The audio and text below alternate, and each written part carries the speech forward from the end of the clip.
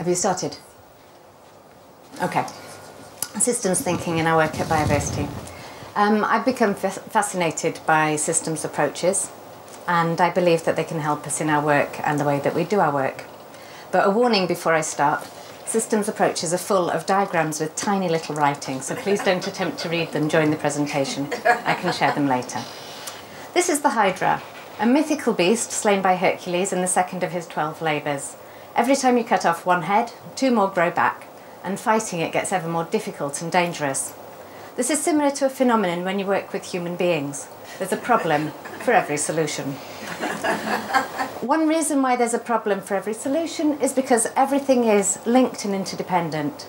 This slide represents the web of life and gives an idea of the complex nature of our interconnected world. But you're all looking at it and thinking, web of life, there's no biodiversity here. Which just goes to show how even when you think you've swept in every conceivable aspect of a problem, you can never be quite sure you haven't left something out. Each partial viewpoint eliminates important information. By the by, the researcher in this case has an idea of the farmer as a man and the woman as the farmer's wife, not a farmer herself. So, situations are interconnected, all dynamically moving and affecting each other events and activities today can have effects which are out of proportion with the stimulus and distant in time and geography, like the flap of the wing of a butterfly in Rome, which causes a typhoon in Brazil. This causes great uncertainty. The most we can do with this kind of problematic, messy situation is not solve it, but nudge it along to a better place. We can change our practices, which moves our understanding along, and we can change our understanding, which moves our practices along like the gender workshops that Maria Fernandez has been conducting. They've moved our understanding along, so we realise we need some new practices. But who decides what improved and better looks like? I like my books in alphabetical order on the shelf because I'm logical. My husband likes them in height order because he's tidy.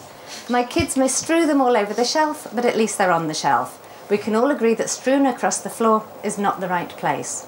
But where they end up often depends on the loudest voice and who is boss in the family. Slide 8, and I've not yet defined my working definition of a system, so here it is. A group of elements perceived by someone as interacting for a purpose.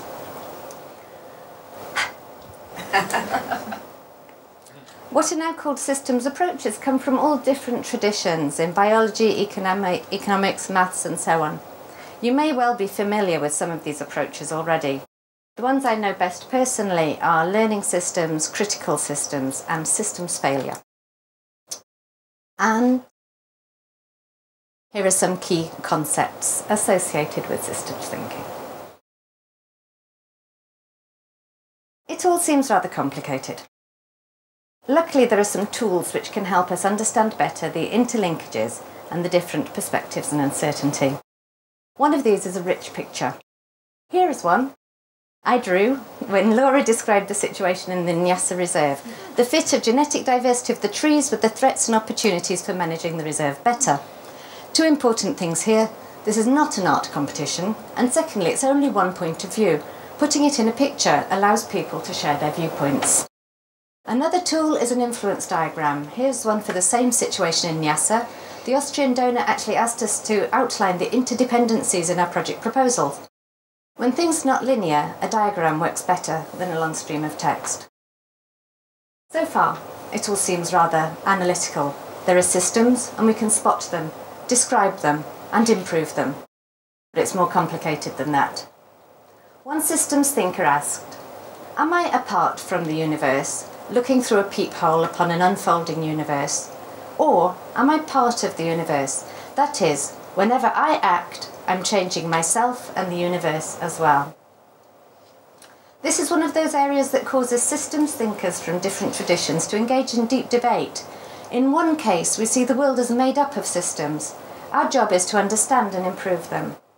In the other case, we see situations that intrigue us and we use the concept of a system to engage with them and improve them. But by doing that, we become part of the system, and that has implications. So much for the systems we can see in our projects. But systems thinking is also useful for managing our projects. We can view our projects as systems. One way we can do this is to think about the transformations we would like to see.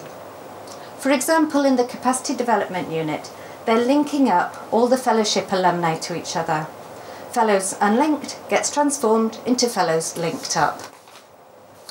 Once we agree on the transformation we want to see, another small tool called PQR, or How, What, Why, can help us to see if we're all working towards the same goal.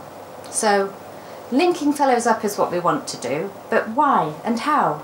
There's a difference between linking fellows up by sending them useful information in order to keep them engaged with biodiversity and linking fellows up by creating discussion spaces in order to create networks of innovation. It has implications for the structure and what you do. Try it on your unit, your project, Bioversity's mission. Once you have an AT and a PQR, it's useful to work out the steps to get there. I said steps, and in fact we usually picture this as a pathway, an impact pathway, going in one direction with one event following another. An alternative and complementary way is to see them like a system. We can see them as a system of interacting activities with the emergent property of the change we want to see.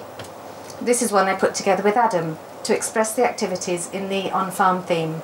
We can check we're delivering what we expected with the three E's, effectiveness, efficiency, efficacy, or as I prefer, five E's, adding also elegance and ethics.